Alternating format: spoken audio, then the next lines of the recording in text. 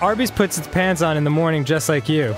Paralyzed by creeping dread as we speed ever closer towards inevitable doom. Eat Arby's. Mommy, why am I so sick?